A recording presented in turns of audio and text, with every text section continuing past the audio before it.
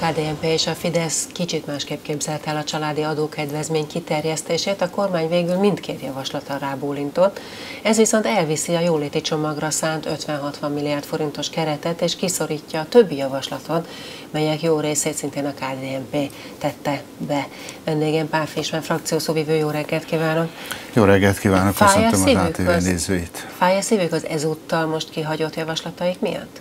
Azért nem fáj, mert ezekre a javaslatokra visszatérünk, visszatér a kormány is, hiszen szeptemberben tárgyalja például a rugalmas gyednek a lehetőségét, kérdését, és jönnek a következők is, tehát ezek nem kerültek le a napirendről, olyan jelentősebb összegeket már nem tartalmaznak, amelyeket ne tudna esetleg akár egy 2014-es, akár későbbi költségvetés kigazdálkodni.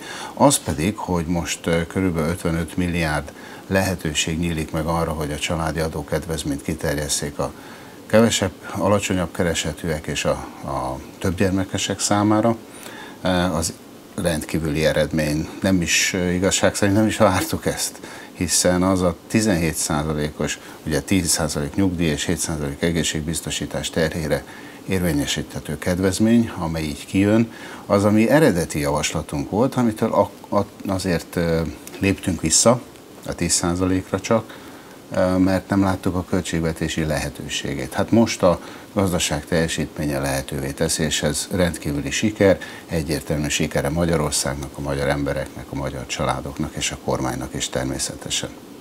Az ellenzék azt mondja mindezzel kapcsolatban, hogy itt a kormány a saját hibás családpolitikáját próbálja korrigálni, mert hogy a korábbi családi adókedvezmény rendszere az igazságtalanabb volt, hiszen a kisebb keresetőeknek bent ragadt egy csomó potenciális kedvezménye, nem érték ugye el azt az adószintet, hogy azt meg le tudják vonni, és most ezt próbálják jóvá tenni. Nyilvánvalóan nem így kell a dologra ránézni, hiszen 2011-től miután két teljes év van a családi adókedvezmény mögött, a családi adókedvezménnyel 180 milliárd forint maradt a családoknál. Tehát, hogyha ezt úgy nézzük, hogy, hogy kapunk egy bögre tejet, akkor gyakorlatilag megkapták a családok a bögrének a negyed ötödét tej, négy ötödét tejjel. És most azoknak, akiknek valóban hiányzott még belőle, azok megkapják teljesen. És ennek a lehetőségét, mondom, a gazdaság teljesítménye állítja elő, hiszen a 180 milliárdos eddig igénybevételhez képest durván egy olyan 60 milliárd, tehát mondjuk egy harmada ismét biztosítható. Tehát mondjuk a példákban az szokott szerepelni, hogyha van egy három gyerekes család, ahol az összjövedelem 300 ezer forint környékén van, akkor ott sokkal többet lehet majd leírni kedvezményben, eddig bent ragadt volna a kedvezmény. Ellenben a jelenlegi rendszeren is az látszik, hogy 300 ezer forint alatt három gyereknél egyre több pénz ragad még mindig be, tehát még mindig lesznek olyan kis jövedelmű családok, elsősorban három gyerekesek, a két és egy gyerekesekre, ez nem lesz jellemző, ott az összes kedvezményt le tudják írni. A három gyerekes családok családoknál mondjuk 200 ezer forint havi jövedelem környékén már megint bent forgadni kedvezmény. Ezt is kívánják még utólag korrigálni majd? Hát nem, nem fog ragadni kedvezmény, mindent igénybe tudnak venni. Tehát azt a kedvezményt, amely számukra, tehát mondom, alacsony jövedelemnél és több gyermekes családoknál minden kedvezményt igénybe hát tudnak én venni. azt olvastam az elemzőktől, hogy egy három gyerekes olvastam. családnál havi 220 ezer forint bruttó fizetéssel 26.400 forint lesz a nem érvényesíthető családi adókedvezmény, tehát még a járulékokkal együtt sem fogják elérni azt az összeget. E, ez csak akkor lehetséges, hogyha mondom, hogyha olyan nagy számú gyermek van a családban. Három. E, e, számoljunk utána. Mennyit mond, milyen, milyen? Azt mondják, hogy 220 ezer forint bruttónál, három gyermeknél bent ragadt 26,5 ezer forint körülbelül egy hónapban. 220 ezer forint bruttónál, az azt jelenti, hogy ott a családi adókedvezmény három gyermek esetén 333 az 99 ezer forint, ugye már? Tehát ezt, ezt a 99 ezer forintot kell előállítanunk. De ugye ez csak ez... a személyi jövedelemadóból és a kétféle járulékból lehet levonni. Ami nem éri el a 99 Igen, de ez csak az jó, értem már a dolgot, ez, csak, ez akkor igaz, hogyha egy keresetről beszélünk. Tehát, hogyha a család mind a két tagjának van bruttó 230 ezer forint, az a nemzetgazdasági átlagbér, akkor mind a ketten igénybe tudják venni a kedvezményt, tehát ki tudják teljesíteni. Lesznek olyan családok is, például ezer család is akár, amit ebben a példában most mondott, vagy 300 ezer forint környékén, akik így aztán gyakorlatilag semmilyen járulékot nem fognak fizetni, nulla forintot. Ezzel kapcsolatban azt Semmilyen a kérdést, adót és semmilyen járulékot. Igen, és ezzel kapcsolatban azt a kérdést vetették fel szakemberek, hogy bár nyilván ez egy méltányolható cél, hogy ben megtarthassák ezt a többletjövedelmet, viszont ez problémát okozhat majd a jogosultságok kérdésénél, hiszen eddig Azt az a rendszer... törvénymódosítás fogja rendezni, semmiféle problémát nem okoz. Szeptemberben. Tehát az állam ki fogja pótolni a be nem fizetett járulékot azoknak? Az egy más kérdés. A jogosultság, meg az állami pótlás, tehát a költségvetési pótlás, ez két külön kérdés, de egyébként hát az is ez a nagy kérdés, hiszen ugye a nyugdíjkasszába ezektől a családoktól, meg az egészségügyi kasszába nem fog kerülni egy fillér sem. Na de könyörgöm, hát most se kerül az adókasszába, tehát a közös nagy kasszánkba az a 180 milliárd forint, amit megkaptak a családok, azok nem kerülnek be. Egyébként a pénz a legjobb helyen a családoknál van. Tehát az a 180 milliárd, ami eddig a családokhoz került, az nagyon jó helyen van ott, és az az 55 vagy 60 milliárd, hadd mondjam végig, az is nagyon jó helyen lesz a családoknál. A nyugdíjkasszából és az egészségügyi kasszából, ami hiányzik, azt a költségvetés bepótolja. Ez volt a kérdésem, hogy ezt ki fogják-e pótolni, tehát erre vonatkozik-e majd a törvénymódosítás, erre hogy is akkor, akkor ezt befizeti van, a költségvetés van, helyettük A jogosultságot, a társadalombiztosításról szóló törvény, a pótlást pedig a költségvetési törvény tartalmazza majd.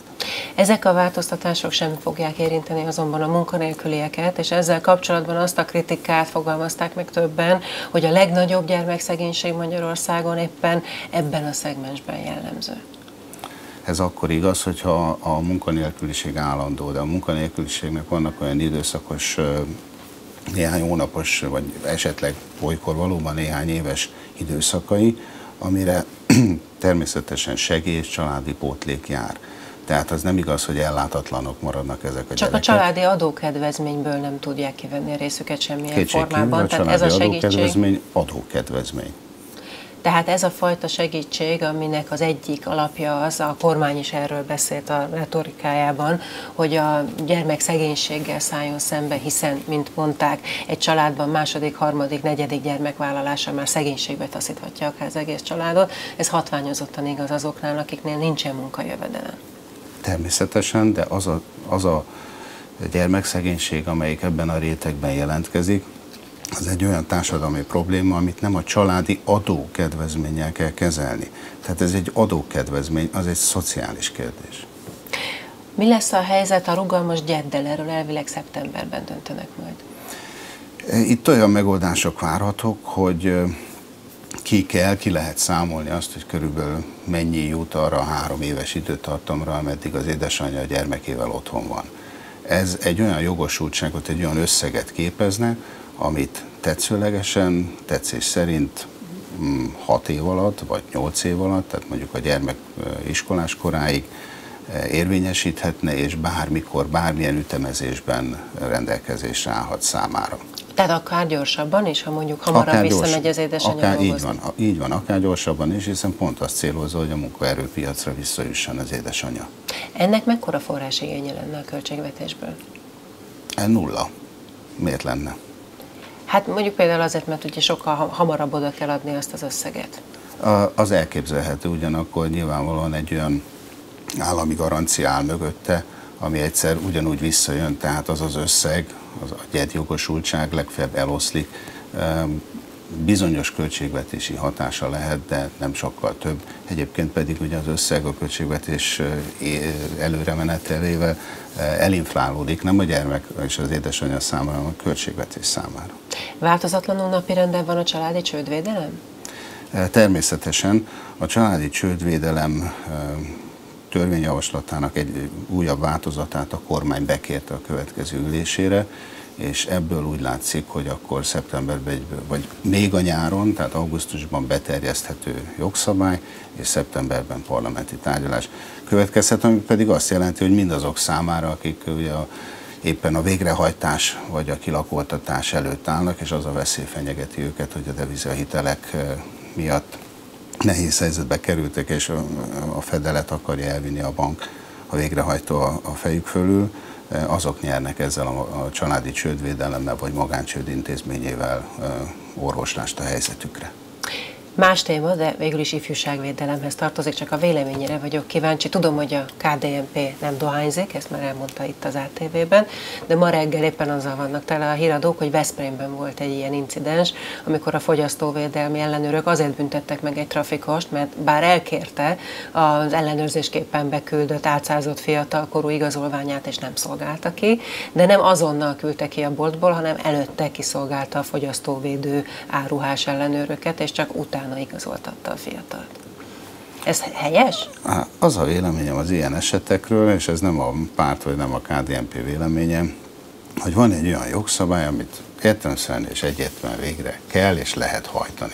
És hogyha ezt jól csinálják, akkor semmilyen problémát nem okoz. E, ezek ugyanolyan kérdések, mint mondjuk az élelmiszer ellenőrzés, mint mondjuk a rendőrségi ellenőrzés a közutakon. Van egy rendje, ki fog alakulni, menni fog. Kérdés az, hogy életszerű-e, hogyha valakinél az állnak sorba éppen szolgálja ki az embereket, hogy ő az adott első pillanatban le tudjon csapni a belépő, esetleg fiatal korúra is igazoltatni tudja. Nyilvánvalóan meg kell azelőtt tenni, hogy kiszolgálná. Hogy aztán ez mikor történik, szerintem ez nem, nem ez a problémának a lényege, hanem az, hogy a, a törvény és a jogszabályok szerint kell eljárni. Köszönöm szépen a beszélgetést. Nagyon szívesen. Én köszönöm.